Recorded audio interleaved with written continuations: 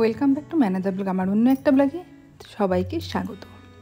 আজকে আমি খুব সুন্দর একটা টিফিন রেসিপি নিয়ে এসেছি। আসলে কি হয়েছে বলো তো বন্ধুরা?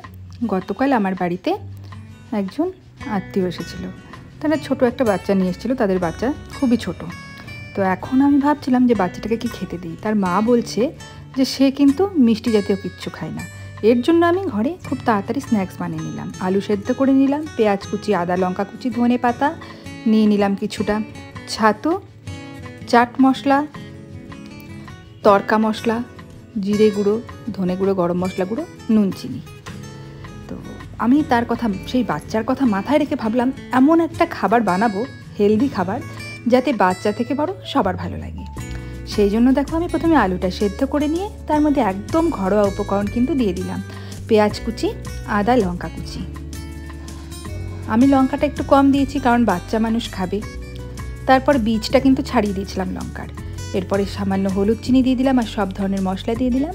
আর তার সাথে দিয়ে দিলাম ছাতু। এখন এই দিয়ে খুব ভালো করে কিন্তু আমি মেখে নিচ্ছি।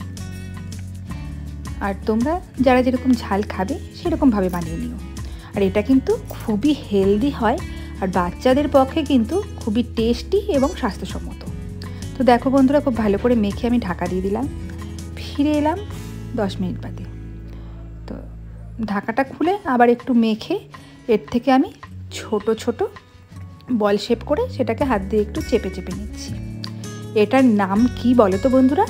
এটার নাম হচ্ছে আলুর টিকিয়া। এই দেখো, তো একইভাবে আবার আরেকটা টিকিয়া আমি বানিয়ে নিচ্ছি।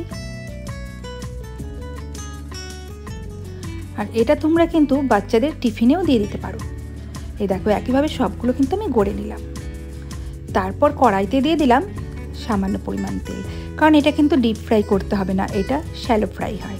তেল গরম হতে আস্তে আস্তে আমি সব টিকিয়াগুলোকে দিয়ে দিচ্ছি।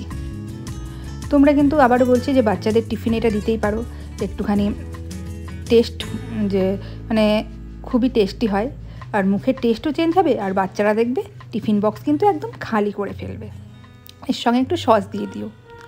আর দেখো, পাঁচ মিনিট পর ফিরে এসে আমি উল্টে দিলাম। একটা পাশ কিন্তু লাল লাল অলরেডি ভাজা হয়ে গেছে।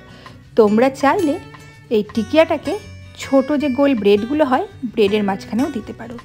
আরও পাঁচ মিনিট ভেজে ফিরে এলাম বন্ধুরা। তো দেখো, উল্টো পাশটাও কিন্তু লাল হয়ে গেছে। মানে দুপাশে আমার ভাজা হয়ে গেছে। একইভাবে সবগুলো আমি এইভাবে প্লেটে সাজিয়ে নিলাম। আর তার সঙ্গে সার্ভ করেছি একটু টমেটো কেচাপ। দেখতে পাচ্ছ তো বন্ধুরা, কতটা সুন্দর হয়েছে।